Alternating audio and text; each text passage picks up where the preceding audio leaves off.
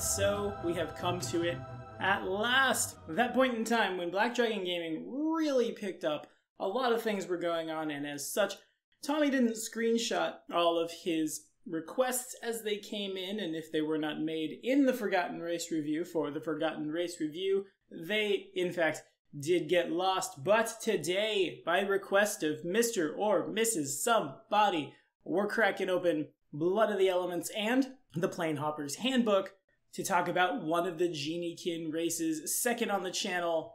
Well, third. I always forget the Suli. Today it's the Undine. If you have any requests for this series or any other series, throw them in the comments and I promise I'll, you know, get better at my job. Oh, by the way, ding the bell if you want to hear more sweet Pathfinder first and second edition content today. This episode of the Forgotten Race Review was brought to you in part by Josh King. Thanks for your support, man. Josh actually is gonna, in the pretty far off ish future, GM for us on Tuesdays, so that's exciting. But it's neither here nor there. Let's hit it. Okay, so much like the Oread, the Ifrit, the Sylph, the Undine wasn't always called an Undine as far as tabletopping was concerned. Back in the day, way back in the day, in the Planescape sourcebook for AD&D, there was a race printed alongside the Aasimar known as the Genasi. Each of the four Genasi broods, fire, earth, water, air, was its own distinct race, bred from, you know, various geniekin and things. They, of course, have lasted all the way through Dungeons and Dragons to present day, and we have them in Pathfinder just under a different name. As far as our water Genasi is concerned, we call them an Undine. And of course, an Undine is a category of imaginary elemental thing associated with water, which we first see in the alchemical writings of Paracelsus, who was a Renaissance alchemist, but of course the Greeks have been dividing the world into the four basic elements since, you know, forever and ever ago. But in Pathfinder, an Undine is a humanoid creature, the offspring of a human and a creature from the plane of water, typically a marid genie. Their inhuman nature is obvious at a glance. Their skin is tinged in shades of blue or green, a lot of them have webbed fingers and toes, fin like ears, and their instinctive love of the water drives them from a very early age to seek out rivers, lakes, and oceans, and it's near these aquatic environments that they prefer to live. Though, of course, as one might expect, the Undine are masterful swimmers, usually, basically, from birth. Most Undines, in fact, lack gills or the ability to breathe underwater. It's an ironic and unfortunate fact that Undines must make their homes near the water, you know, what with that strong pull to that particular element, but can never live within the substance towards which they feel this strong affinity. Most Undine settlements are built on the shore, some of which are built on docks or flotillas of boats lashed together. And of course, as you can imagine, the populations of these floating hamlets will, in fact, much like the water, ebb and flow, with whole families or even whole neighborhoods just uprooting one day, unlashing themselves from the flotilla and sailing off to another settlement, or maybe even founding another one on their own. Now, as far as their stats go, an Undine comes of age at 60 years. Males range in height from 5 feet to 6'6, weighing anywhere from 130 to 220 pounds, with females coming in at 4'7 to 6'1 from 95 to 185 pounds. And the max age for said race being oh, 5 or 6 campaigns, give or take 250 plus 6 percentage dice worth of years. Now, for their character sheet, an Undine receives a plus 2 to dexterity and wisdom, but suffers a minus 2 to strength. These guys are both perceptive and agile, but they tend to adapt rather than match force with force, or, you know, they have one of the better ability score adjustments in Pathfinder. Dexterity and wisdom are the two most important stats in the game, and if I had to dump one thing, I'd dump strength. At least if I had a dex boost and I was trying to do that agile spaghetti boy kind of thing. But yeah, anyway, moving forward. They are native outsiders, medium creatures with a base speed of 30 feet and a swim speed of 30 feet. In addition, they may move through the water without making swim checks and always treat swim as a class skill. Remember, having that base speed also means they've got a plus 8 racial bonus on swim checks, should they have to roll a swim check for, like, swimming in a hurricane. As one might imagine, the Undine has cold resistance 5 and can cast hydraulic push once a day, with the caster level equaling their level. The Undine has dark vision, ooh, race getting better and better, and Undine sorcerers with the elemental water bloodline treat their charisma score as two points higher for all sorcerer spells and class abilities. Undine clerics with the water domain cast their water domain powers and spells at plus one caster level, but that's not all.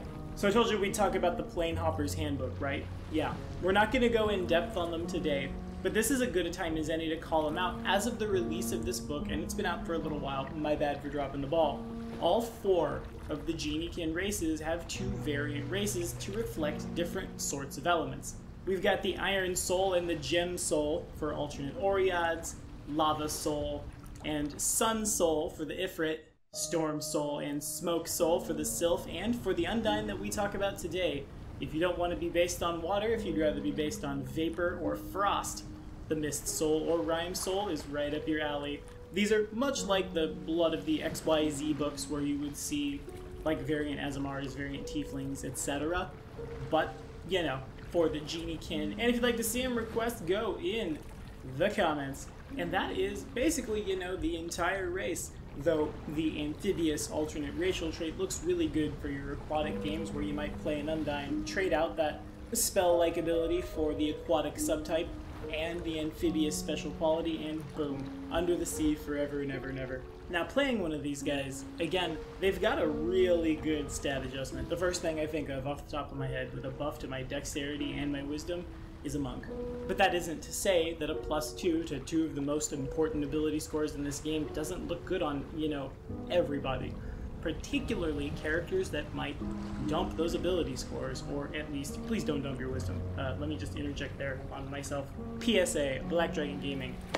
Don't dump your wisdom moving forward a class that might only have like that odd plus one into wisdom from the last little bit of investment that they had would have a little more racially and would have to pay less for middle of the road wisdom than other characters, which means that, say, like an Undine fighter who doesn't really care about their wisdom but doesn't want to be mind controlled has a bit of a buff there, to say nothing of the fact that, remember, your Undine is not humanoid, short of taking the mostly human alternate racial trait in addition to being immune to say like charm person hold person because you know you're not a person you need charm monster hold monster as you are a native outsider you're also immune to enlarge person because you know again not a people uh, fantasy people but that's super relevant in a lot of games because low level spell lists will just bounce off you buffed against the things that will come at you immune to a lot of them as well it's really good now gming for one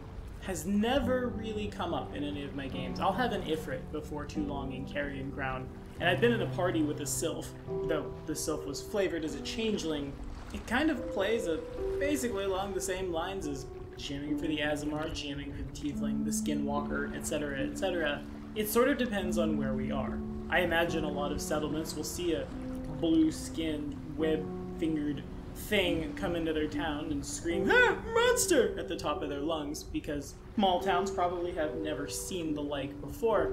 And I could definitely see that being in a character's backstory or like thrown in their path as we adventure because a lot of things are not going to understand what they're looking at. That said, I could also feel a sort of like a call to the sea kind of thing for a character like this because right? It's in their blood. They feel that call to the water and eventually maybe even the plane of water to find whatever it was that made them what they are, and then you know all that aggression of the townsfolk trying to like torch and pitchfork you because you're scary, and for all they know, you're a cultist of Dagon who's taken it a little too far. And how the player reacts as the campaign goes on is, well, you know, storytelling. But that's all I have to say today. What do you guys think? Have you played an Undine before? GM'd for one? Played in the Plane of Water? Underwater? Ruins of Azlant? Let me know all about it in the comments. As always, we'll keep that conversation running, and thank you guys for your time.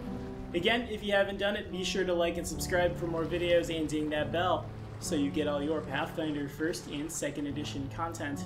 We continue to tear down our request line. Next week, we're doing another variant native outsider, the Angelkin Aasimar. See you next Monday.